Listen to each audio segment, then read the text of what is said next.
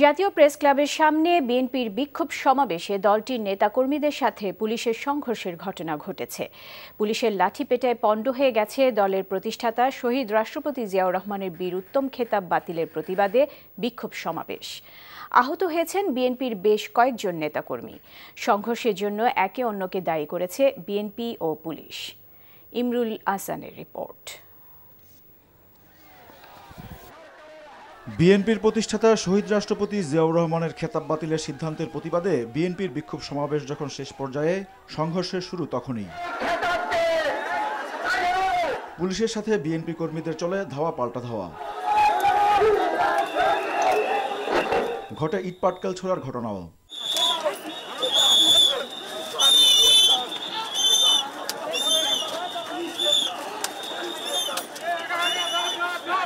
Police ধাওয়া দিলে press club থেকে পল্টনের দিকে সরে পড়েন বিএনপি নেতাকর্মীরা।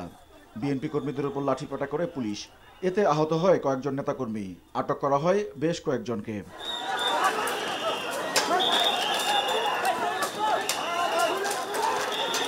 পুলিশি ধাওয়া ছত্রভঙ্গ হয়ে পড়েন বিএনপি নেতাকর্মীরা। তবে সিনিয়র নেতারা আশ্রয় নেন জাতীয় প্রেস ক্লাবের ভিতরে।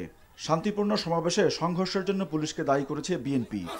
তবে পুলিশের অভিযোগ, রাস্তা অবরোধ করে সমাবেশ করে বিশৃঙ্খলা সৃষ্টির উদ্দেশ্য ছিল বিএনপির। সমাবেশ শুরুর আগে একটি মিছিলে বাধা দেয়াকে কেন্দ্র করে সকালেও এক দফা বিএনপি কর্মীদের সাথে সংঘর্ষ হয় পুলিশের। তবে এরপর দুই ঘণ্টা প্রেস ক্লাবের সামনে বিএনপির সমাবেশে দেখা গেছে শান্তিপূর্ণ পরিবেশ। Imrul Hasan, NTV news, Dhaka.